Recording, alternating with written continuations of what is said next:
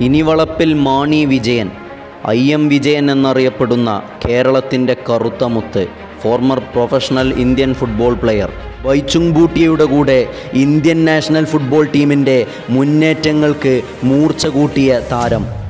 തൊണ്ണൂറുകളുടെ അവസാനത്തിലും രണ്ടായിരത്തിന്റെ തുടക്കത്തിലും India കണ്ട ഏറ്റവും മികച്ച attacking footballer the aggressive footballer എന്നായിരുന്നു അന്നത്തെ കാലത്തെ മീഡിയകൾ അദ്ദേഹത്തിനെ വിളിച്ചിരുന്നത്. മുന്നേറ്റങ്ങൾക്ക് മൂർച്ച കൂട്ടാൻ വളരെ വിദഗ്ധനായിരുന്നു വിജയൻ. ആയിരത്തി തൊള്ളായിരത്തി തൊണ്ണൂറ്റി മൂന്നിലും ആയിരത്തി തൊള്ളായിരത്തി തൊണ്ണൂറ്റി ഏഴിലും ആയിരത്തി തൊള്ളായിരത്തി തൊണ്ണൂറ്റി ഒമ്പതിലും Indian player of the year നേടുന്ന വ്യക്തി. ഇത് ചൂടുന്ന ഇത് മൂന്ന് പ്രാവശ്യം നേടുന്ന ആദ്യ വ്യക്തിയും കൂടിയായിരുന്നു ഐ എം വിജയൻ. രണ്ടായിരത്തി മൂന്നിലെ അർജുന അവാർഡും തന്റെ പേരിലേക്ക് എഴുതി ചേർത്തിട്ടുണ്ട് ഈ കേരളത്തിന്റെ മാണിക്യം. ആയിരത്തി തൊള്ളായിരത്തി അറുപത്തൊമ്പതിൽ ഏപ്രിൽ ഇരുപത്തഞ്ചിന് ഒരു സാധാരണ കുടുംബത്തിൽ ഒരു പാവം കുടുംബത്തിലാണ് ഐ എം വിജയൻ ജനിക്കുന്നത്. തൃശൂർ മുനിസിപ്പൽ കോർപ്പറേഷൻ സ്റ്റേഡിയത്തിൽ സോഡ വിറ്റ് നടന്നിരുന്ന ഒരു കാലം ഐ എൻ വിജയൻ ഉണ്ടായിരുന്നു. തൃശൂരിലെ ചർച്ച് മിഷൻ സൊസൈറ്റി ഹൈസ്കൂളിൽ പഠിക്കുന്ന കാലത്ത് ഫുട്ബോളിനോട് ഒരുപാട് മോഹമായിരുന്നു ഐ എം വിജയന്. അങ്ങനെയാണ് ഡി ജി പിയുടെ Kerala D G P M K ജോസഫിന്റെ കണ്ണിൽ ഈ താരത്തിനെ കാണുന്നത്. ഈ താരത്തിനെ കേരള പോലീസ് ഫുട്ബോൾ ക്ലബിലേക്ക് പതിനേഴാം വയസ്സിൽ എടുക്കുന്നു. ആ അവസരം ഐ എം വിജയൻ ബ്രില്യന്റായി മുതലാക്കി എന്ന് പറയാം. ആയിരത്തി തൊള്ളായിരത്തി എൺപത്തേഴിൽ കേരള പോലീസിന്റെ ജെയ്സി അണിയുന്ന ഐ എം വിജയൻ പിന്നീട് കണ്ടത് ചരിത്രങ്ങൾ സൃഷ്ടിക്കുന്ന ആളായി മാറുന്നതായിരുന്നു. ഡൊമസ്റ്റിക് ഫുട്ബോളിൽ ഇത്രയും നേട്ടങ്ങൾ കൊയ്യുന്ന ഒരു താരം അക്കാലത്ത് മറ്റാരുമില്ലായിരുന്നു.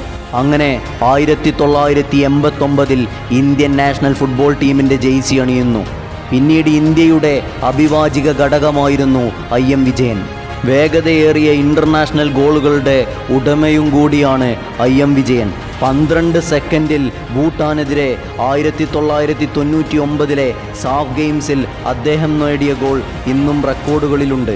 അന്നത്തെ കാലത്തെ നായകനായിരുന്ന ഐ എം വിജയനെ തേടി മലേഷ്യൻ ക്ലബ്ബുകളും തായ്ലൻഡ് ക്ലബ്ബുകളും ഒരുപാട് പിടിവലി നടത്തിയിരുന്നു. പക്ഷേ നാട്ടിൽ തുടരാനുള്ള താല്പര്യം മൂലം അദ്ദേഹം കളി രാജ്യത്ത് തന്നെ തുടർന്നു. ആയിരത്തി തൊള്ളായിരത്തി എൺപത്തേഴിൽ കേരള പോലീസിലെത്തിയതിനു ശേഷം ആയിരത്തി തൊള്ളായിരത്തി തൊണ്ണൂറ്റി ഒന്നിൽ മോഹൻ ബംഗാനിലെത്തുന്നു. അവിടുന്ന് ജെ സി ടി മിൽസ് പഗ്വാരയിലോട്ട് എഫ് സി കൊച്ചിൻ അവിടുന്ന് ഈസ്റ്റ് ബംഗാളിലോട്ട് അവിടുന്ന് ജെ സി ടിയിലോട്ട് അവിടുന്ന് ചർച്ചിൽ ബ്രദേഴ്സിലോട്ട്. നീണ്ട കരിയർ. ഈ കരിയറിലെല്ലാം കളിച്ച എല്ലാ ക്ലബ്ബുകളിലും പത്തിലേറെ ഗോൾ സ്കോർ ചെയ്യുക. ഇത് മാത്രം മതിയായിരുന്നു. അദ്ദേഹം ഓരോ ക്ലബിനും എത്ര വിലപ്പെട്ടവനായിരുന്നു എന്ന് മനസ്സിലാക്കാൻ അദ്ദേഹത്തിന്റെ പേരിൽ പിന്നീട് ബയോഗ്രാഫിക്കൽ ഫിലിമുകൾ വരെ ഇറങ്ങി. കലോഹിരാൻ ചെറിയൻ ജോസഫ് ഡയറക്റ്റ് ചെയ്ത് ആയിരത്തി തൊള്ളായിരത്തി തൊണ്ണൂറ്റി എട്ടിൽ ഇറങ്ങിയ കലോഹിരാൻ അദ്ദേഹത്തിന്റെ പടമായിരുന്നു. അദ്ദേഹം ഇന്റർനാഷണൽ ഫുട്ബോളിൽ നിന്ന് പടിയിറങ്ങുമ്പോൾ അദ്ദേഹം ഒരുപാട് സംഭാവനകൾ നാഷണൽ ടീമിന് വേണ്ടി ചെയ്തു.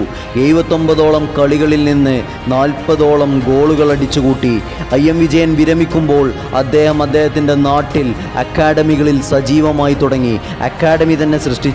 രണ്ടായിരം മുതൽ രണ്ടായിരത്തി നാല് വരെ ഇന്ത്യയുടെ ക്യാപ്റ്റനായിരുന്നു ഐ എം വിജയൻ. വരും തലമുറയുടെ പ്രചോദനമായി ഇന്നും ഇന്ത്യൻ ഫുട്ബോളിന്റെ നായകനായി നിലനിൽക്കുന്ന ഒരു താരമാണ് ഐ എം വിജയൻ. ജനിച്ചത് ഇന്ത്യയിലായതുകൊണ്ട് എവിടെയും എത്താതെ പോയ കേരളത്തിന്റെ സ്വന്തം അഹങ്കാരം ഐ എം വിജയൻ.